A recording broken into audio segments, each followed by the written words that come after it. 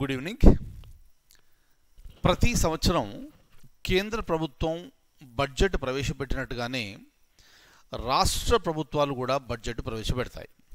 అయితే ఆ రాష్ట్ర బడ్జెట్లో ఒక అంశం దాంట్లో ఉండేది ఏమిటి అంటే ప్రతి రాష్ట్రంలో ఆ రాష్ట్ర ప్రభుత్వం ఆ సంవత్సరానికి సంబంధించిన బడ్జెట్లో గవర్నర్ సెక్రటరియట్కి సంబంధించి కొన్ని కేటాయింపులు జరపడం ఉంటుంది.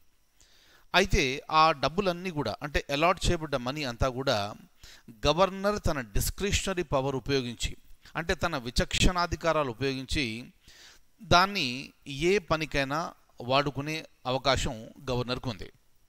అయితే ఈ విషయం ఇప్పుడు ఎందుకు మాట్లాడుతున్నాము అంటే ఆంధ్రప్రదేశ్ గవర్నర్ ఆంధ్రప్రదేశ్ గవర్నర్ ఈ సంవత్సరము తన డిస్క్రిషనరీ కోటాలో ఉన్న ఫండ్స్లో ముప్పై లక్షల రూపాయలని చీఫ్ మినిస్టర్ రిలీఫ్ ఫండ్కి కంట్రిబ్యూట్ చేయడం జరిగింది.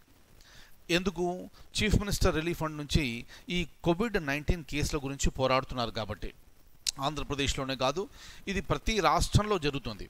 అయితే ఆంధ్రప్రదేశ్ గవర్నర్ తన విచక్షణాధికారాన్ని ఉపయోగించి ముప్పై లక్షల రూపాయలని ఈ డిస్క్రిషనరీ ఫండ్ నుంచి చీఫ్ మినిస్టర్ రిలీఫ్ ఫండ్కు ట్రాన్స్ఫర్ చేయడం జరిగింది.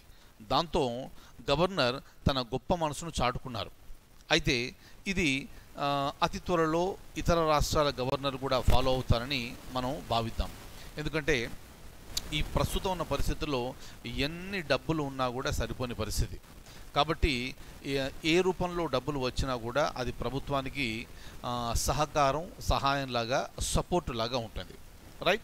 అలాగే ఇటీవలే మనం చూసాము పేపర్లలో మీరు బాగా చూస్తుంటారు రాజస్థాన్లో ఒక జిల్లా బిల్వాడ. దాని హెడ్ క్వార్టర్స్ వచ్చేసి బిల్వాడ సిటీ. అయితే ఈ జిల్లాకు సంబంధించిన విషయం ఏంటంటే అక్కడ ఎప్పుడైతే ఈ కరోనా వైరస్ వ్యాపించింది అని తెలిసిందో అక్కడ అధికారులు జిల్లా యంత్రాంగం జిల్లా యంత్రాంగం ఎప్పుడు కూడా కలెక్టర్ ఆధీనంలో ఉంటుంది. కలెక్టర్ వెంటనే అప్రమత్తమై ఆ జిల్లా సరిహద్దులన్నిటినీ పూర్తిగా మూసివేయడం జరిగింది. అంటే ఎక్కడి వారిని అక్కడనే నిర్బంధించేసి అసలు కంప్లీట్గా కర్ఫ్యూ అనేది విధించడం జరిగింది. ఎంత స్ట్రిక్ట్గా కర్ఫ్యూ విధించారంటే అసలు ఏమాత్రం దయ కనికరం అనేది లేకుండా అక్కడ కర్ఫ్యూ చాలా స్ట్రిక్ట్గా విధించి నిత్యావసర వస్తువులకు కూడా అక్కడ ప్రజలకు ఇబ్బంది ఏర్పడేది అటువంటప్పుడు పోలీస్ వాళ్ళు వెళ్ళి ఎక్కడైతే అవసరమో అక్కడ నిత్యావసర సరుకులు ఇవ్వడం జరిగింది. దీన్ని కొంతమంది విమర్శించారు. అది విమర్శించినప్పటికీ కూడా ఈ ప్రభుత్వ యంత్రాంగం చిత్తశుద్ధితో కలెక్టర్ నాయకత్వంలో ముందుకెళ్ళింది. అలా ముందుకెళ్ళిన వలన పదకొండు రోజుల తర్వాత పదకొండు రోజుల తర్వాత ఈ జిల్లాలో ఈ కరోనా వైరస్ చైన్ అనేది బ్రేక్ అయిపోయింది. అంటే అంతటితో కంప్లీట్గా ఆగిపోయింది. ఇక కొత్త కేసులు ఏం లేవు. దీన్ని బిల్వాడా మోడల్ అంటారు. ఈ బిల్వాడా మోడల్ ప్రకారం ఏమిటి అంటే పూర్తిగా దిగ్బంధంలో ఉంచేసి ఏ వ్యక్తి మీద అనుమానం వస్తే ఆ వ్యక్తికి టెస్ట్ చేయడము అతని ఇంట్లో ఉన్న వాళ్ళకి టెస్ట్ చేయడము ఏమాత్రం లక్షణాలు ఉన్నా కూడా క్వారంటైన్కి పంపించడము చికిత్స అందించడము అలా చాలా స్ట్రిక్ట్గా చేయడం వలన ఆ బిల్వాడ మోడల్ అనేది ప్రస్తుతం దేశంలో ఈ జిల్లా యొక్క పేరు మార్మోగిపోతుంది వీటన్నిటికీ గల కారణము జిల్లా యంత్రాంగం. చూడండి మనం ఎప్పుడు చూస్తుంటాము ప్రభుత్వ యంత్రాంగం పనిచేయదు అని చాలామంది విమర్శిస్తుంటారు. కానీ చూడండి ఇటువంటి క్లిష్ట పరిస్థితులు వచ్చినప్పుడు అసలు ప్రభుత్వం అనేది లేకపోతే ప్రజలకు చాలా ఇబ్బంది అవుతుంది. ఈరోజు మనకున్న ఎలక్ట్రిసిటీ కానీ మన ఇంటర్నెట్ సర్వీస్ కానీ రైళ్ళు కానీ బస్సులు కానీ ఇతర నిత్యావసర సరుకులు మనకు దొరకడం కానీ అన్ని ప్రభుత్వ కారణాలే. ప్లస్ ఇటువంటి పరిస్థితులు ఏమైనా ఉన్నప్పుడు ప్రభుత్వమే ముందుండి చేస్తుంది. అక్కడ ప్రధానమంత్రి నుంచి ఒక మామూలు పౌరుడు వరకు కూడా ఈ కోవిడ్ నైన్టీన్కు ఎగెనెస్ట్గా పోరాటం చేయడం జరుగుతుంది. జరుగుతుంది. రైట్? ఈ బిల్వాడ మోడల్ అది ఏ జిల్లాలో ఉంది అని ఒక క్వశ్చన్ రావచ్చు. అది రాజస్థాన్ అది అది ఈ- జిల్లా ఏ రాష్ట్రంలో ఉంది? ఈ జిల్లా రాజస్థాన్ రాష్ట్రంలో ఉంది. దయచేసి మీరు జ్ఞాపకం పెట్టుకోండి. అలాగే సార్క్ దేశాలు. సార్క్ అంటే ఏమిటి? South Asian Association for Regional Cooperation. ఇక్కడ మనకు ఇది పంతొమ్మిది వందల ఎనభై ఐదులో మొదలైన ఇంటర్నేషనల్ ఆర్గనైజేషన్. ప్రారంభంలో దీని సంఖ్య సభ్యుల సంఖ్య ఏడు ఉంటే ప్రస్తుతం ఎనిమిది దేశాల సభ్యులుగా ఉన్నాయి. ఈ ఎనిమిది దేశాలు ఏంటంటే భారతదేశము తర్వాత లేటెస్ట్గా చేరింది ఆఫ్ఘనిస్తాన్ తర్వాత పాకిస్తాన్ ఉంది. అలాగే నేపాల్ భూటాన్ బంగ్లాదేశ్ శ్రీలంక మయన్మార్. సారీ శ్రీలంక మాల్దీవ్స్. మళ్ళీ ఒకసారి చెప్తున్నాను. India Afghanistan Pakistan Nepal Bhutan.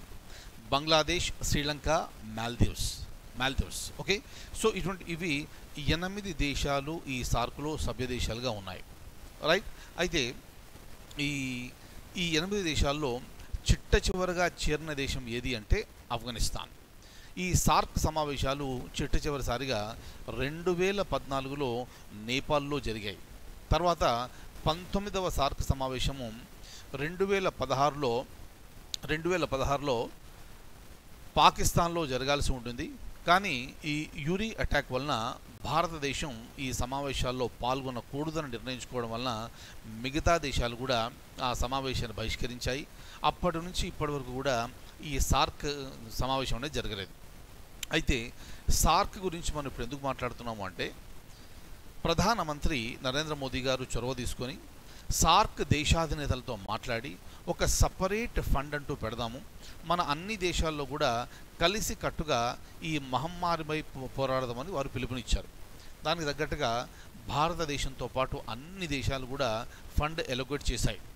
అయితే పాకిస్తాన్ మాత్రం కొంచెం టైం తీసుకొని డబ్బులు ఇస్తానని చెప్పింది.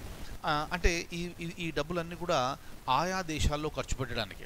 అంటే ఈ ఒక ప్రాంతంలో ఒక ప్రాంతంలో ఉన్నాం కాబట్టి సౌత్ ఏషియాలో ఉన్నాం కాబట్టి ఈ దేశాలన్నీ కూడా కలిసికట్టుగా పోరాడితే ఈ ప్రాంతానికి సంబంధించినంత వరకు పూర్తిగా కట్టడి చేయొచ్చు అనే ఒక వ్యూహం. రైట్? ఇది అందుకని ఈ సార్క్ అనేది మళ్ళీ ఒకసారి న్యూస్లోకి వచ్చింది. దయచేసి నేను చెప్పిన పాయింట్స్ అన్నీ కూడా మీరు జ్ఞాపకం పెట్టుకోండి. ఇప్పుడు నేను ఒకసారి డాక్యుమెంట్ ఓపెన్ చేస్తున్నాను. చూడండి. రైట్? ఈ క్రింది ఏ జిల్లాల్లో ఈ కర్ఫ్యూ విధించడం వలన కరోనా చైన్ విడదీయడం జరిగింది? ఆన్సర్ వచ్చేసి బిల్వాడ. బిల్వాడ ఎక్కడుంది? రాజస్థాన్. రైట్ ఇది కంప్లీట్ కర్ఫ్యూ. కర్ఫ్యూ విధించినట్టుగా చక్కగా విధించారు. విమర్శలు వచ్చినప్పటికీ వాటికి తట్టుకొని ఎదురు నిలబడి అక్కడ విజయాన్ని సాధించారు. కాబట్టి అక్కడి ప్రభుత్వ యంత్రాంగానికి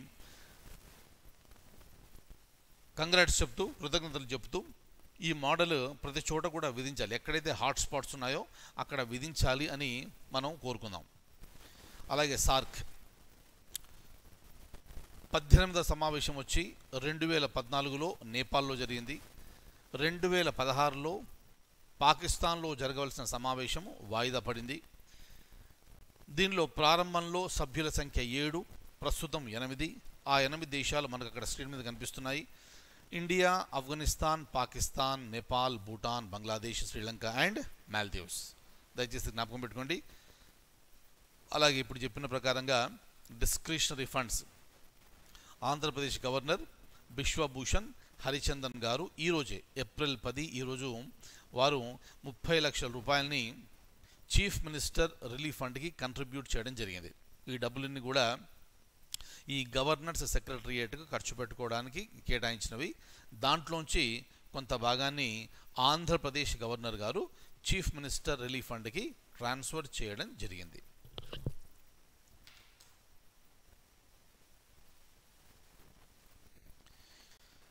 ఇక ఈ రోజుకి సెలవు. మరిడి కరెంట్ అఫైర్స్తో మళ్ళీ మనం తర్వాత క్లాస్లో కలుద్దాం. Take very good care.